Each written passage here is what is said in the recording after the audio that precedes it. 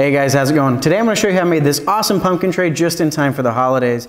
We do have the files available on our website, so be sure to check those out. Without further ado, let's get to it.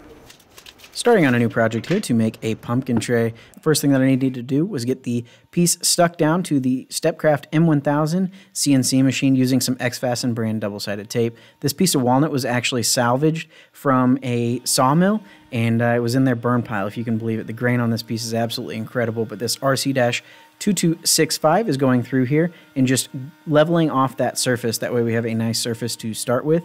It's been a while since I've actually had the piece, so uh, we needed to get it nice and flat. Now that that is done, we can get the sawdust all brushed off, and then I'll just pop the grain with some water here, and you can see some of that beautiful grain already. If you love this type of content, be sure to subscribe to our channel and go ahead and hit that bell so that you'll be notified on all of the new videos when they're released. Also, don't forget to follow us on Instagram at Tools Today. So I'm picking up the 46143 332nd inch radius point roundover bit. We're just going to use this to add a roundover over the entire profile on the inside and outside of the tray. So it's just going through here in a single pass to create that. And it does a really nice job. It's definitely easier to do on the CNC with all of these smaller pieces here and without a whole lot of support on the material itself. So doing this on the CNC definitely saves a couple of steps later. So we went through the entire profile on the inside leaving perfectly clean cuts throughout the project, even though most of this is going across the grain on walnut, which is definitely not easy to do to leave a nice chip out free cut. So after that, we got the outside profile done as well, and then we'll get the bit switched out with the auto tool changer for the 45982 three quarter inch diameter bowl bit. This bit has a nice radius at the bottom. It's a quarter inch radius, so it leaves a really nice smooth bottom. We're going through here in several passes to get down to the final one inch depth that I had cut on this tray, and it did a really nice job creating those chips. This is exactly what we want to see. We want to see chips, not sawdust. When you're making chips, that means that you're cutting efficiently and not continuing to recut those chips, creating the sawdust.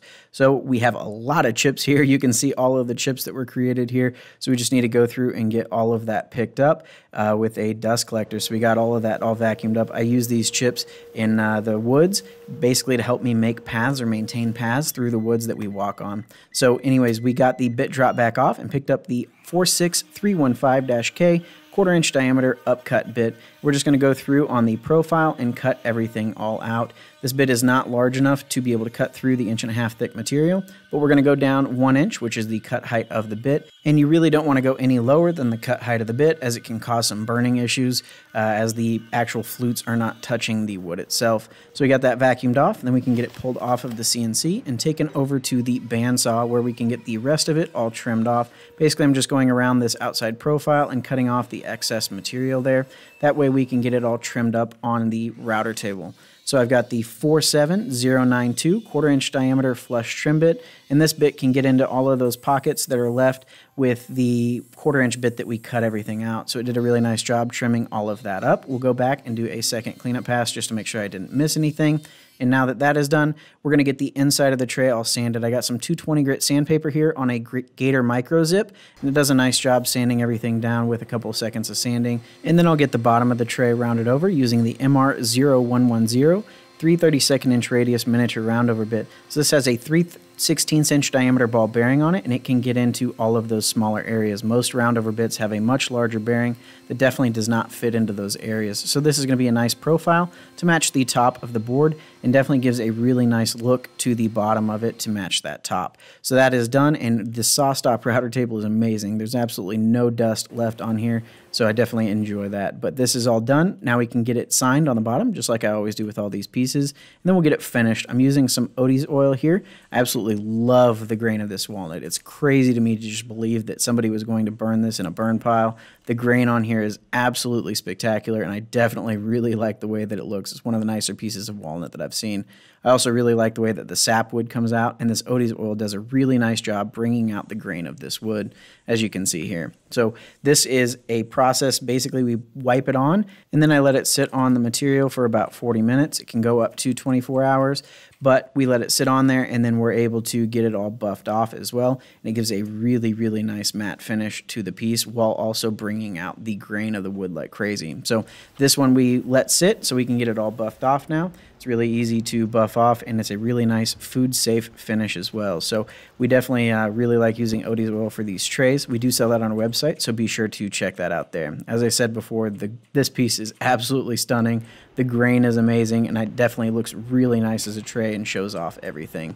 Uh, really happy with the way that this one turned out. So Katie wanted to uh, do a ninja scene and wanted to sneak in and sneak some pieces of candy. So we're going to let her finish this out. This was uh, all kind of her idea, and she definitely really enjoyed it, and she loves the tray. So, anyways, that's all that really matters. So, anyways, definitely check out those plans on our website if you're interested in making this yourself. It's a really fun project, and I definitely enjoyed the, making it and enjoy the way that it looks. So, hopefully, you guys enjoyed this one. We will catch you guys back out here on the next one. Have a great day, everybody. Are you stealing candy? Can you? I, I was stealing candy. It was you stealing the candy? Yes. Is it good candy? Mm, yummy. Do you like your new candy tray? yes, I can eat candy all day. Thanks for watching. Have a good day. Bye-bye. Thank you guys so much for watching. If you love this type of content, be sure to subscribe right over here. And for more great videos, click right over here.